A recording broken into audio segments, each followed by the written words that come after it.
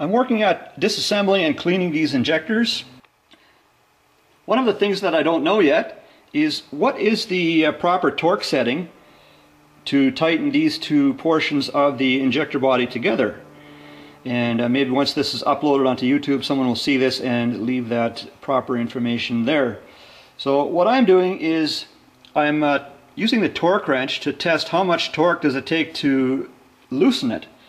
And the uh, I don't think the loosening torque and the tightening torque are the same. However, uh, with that information, I can do more uh, more testing and uh, basically figure out, I think, how much uh, the tightening torque is.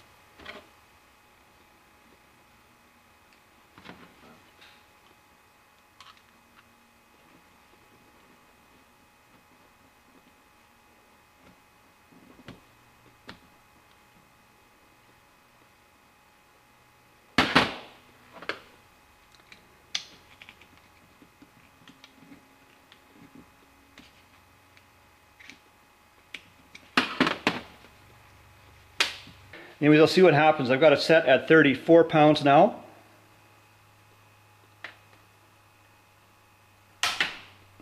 Oh, it clicked out.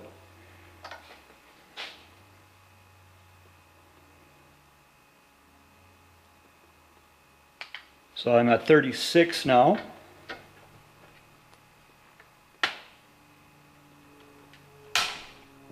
That was 36.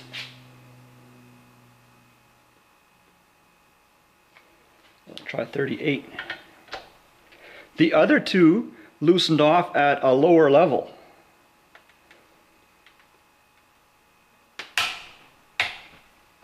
Okay, well that's a tight one. Okay, now I'm at 40 pounds.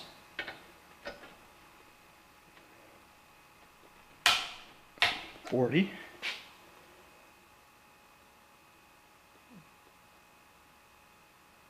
Try 45.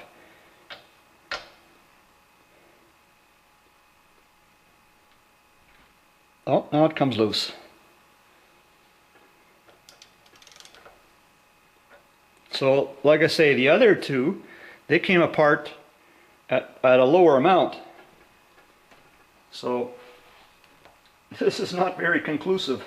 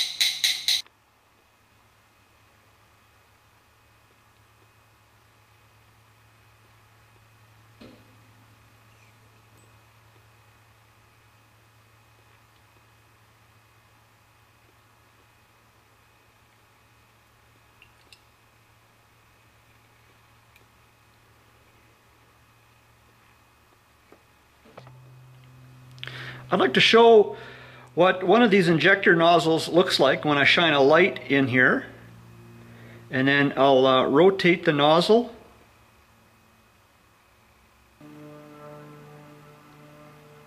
So there's one. And there's one. Turn the injector nozzle some more. There's one. And here it gets fairly dark. And I think if I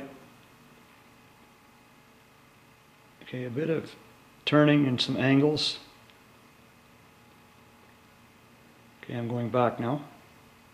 Back, back. Here, this one. Yeah, there's some light. Turn back some more.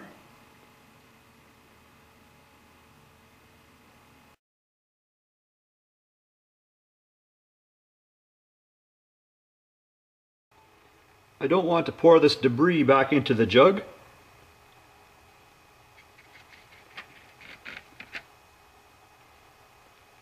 So I'm using a primitive homemade filter.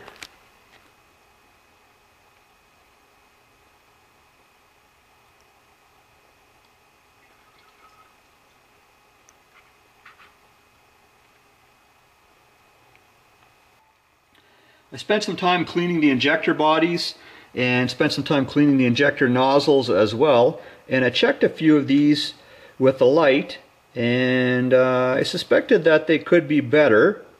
But I've also discovered that the angle of the ports on those uh, injector nozzles are not all the same. So that can also affect how the light shines through.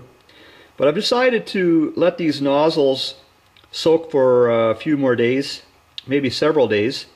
So I've got these back in the parts cleaning solution. That's this stuff here. And uh, the rest of the parts, I have them just in WD-40, which uh, is uh, a good rust preventative solution. And it, and it, may also actually act as a mild uh, rust remover as well. Anyways, guys, thanks for checking it out.